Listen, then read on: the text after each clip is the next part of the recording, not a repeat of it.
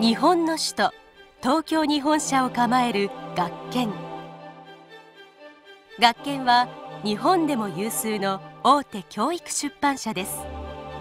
教育を通して次世代を担う子どもたちへ考える喜びそして明日への夢希望を伝えてきました。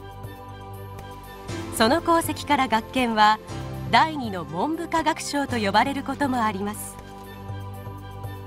1947年の創業以来主に学習参考書や子ども向け書籍を多く発刊してきましたが出版物だけでなく教育分野でさまざまな事業展開を行っており特に科学の分野には力を注いできました。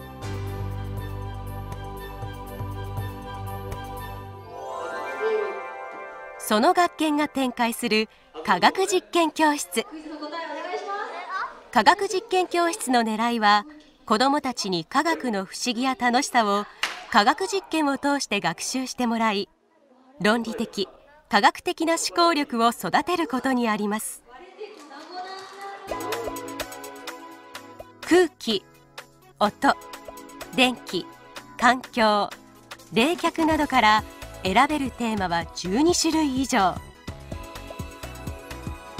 子どもたちの興味や発達段階に合わせて選ぶことができます。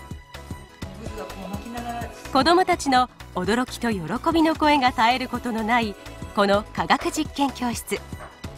一体どのような流れになっているのか見ていきましょう。科学実験教室は3部構成になっています。まずはじめは参加型の科学実験です。子供ならずとも大人でも感動するような科学の実験。あたかもマジックのような実験を目の当たりにした子どもたちはなぜそうなるのかと自発的に考えるようになります。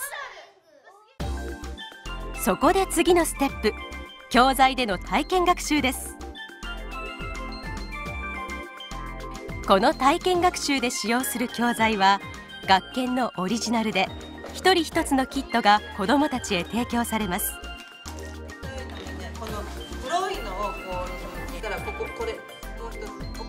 子どもたちはこの体験を通して実験を楽しいと感じるだけでなくその現象や原理を確かめることができるのです。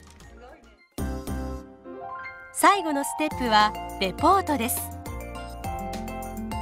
実験を通して分かったことや驚いたことなどをまとめます。自分の考えをまとめて書くという力は科学においてだけでなく将来子どもたちが研究者になったりビジネスマンになったりする上で必要な能力です。このレポート作成では考えを深めまとめるトレーニングにもなります。この3つのステップがあるからこそ本当の力を育むことができ本物の学習効果があるのです。現在科学実験教室には1万人以上の生徒がいます。またその開催場所は教育委員会と連携した公立学校。学研が業務提携している進学塾。カルチャースクールやショッピングモールといった公共施設と様々です。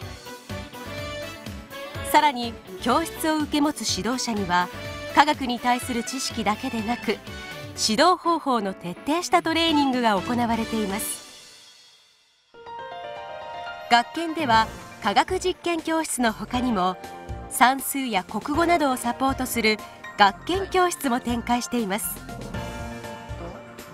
丁寧な個別指導と専用教材が高い評価を受け現在その数は日本全国で42万会員。およそ1万人の指導者。そして1万5000もの教室があります。日本だけにとどまらず科学実験教室も含めて学研教室は多くの国々で展開し実績を上げています。徹底した基礎学力の定着を柱に子どもたちの学習態度や挨拶などしつけ面の指導も重視している。学研教室。この一貫した指導方針が子どもたちの学ぶ力を伸ばす礎となっているのです。科学を身近に感じて生きる力を育てたい。でも楽しくなければ伝わらない。そうして始まった科学実験教室。実際の子どもたちの声を聞いてみましょう。学校では先生が準備してくれるんですけど今回は自分で準備できたので楽しかったです。お家に帰ってもう一回やってみたくなりました。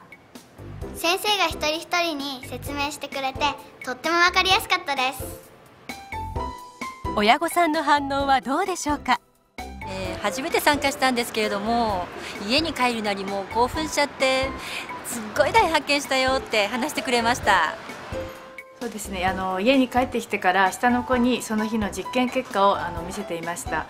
でもう一度同じことをする。そしてそれをまたこう人に見せるということであの本人も理解を深めているようです。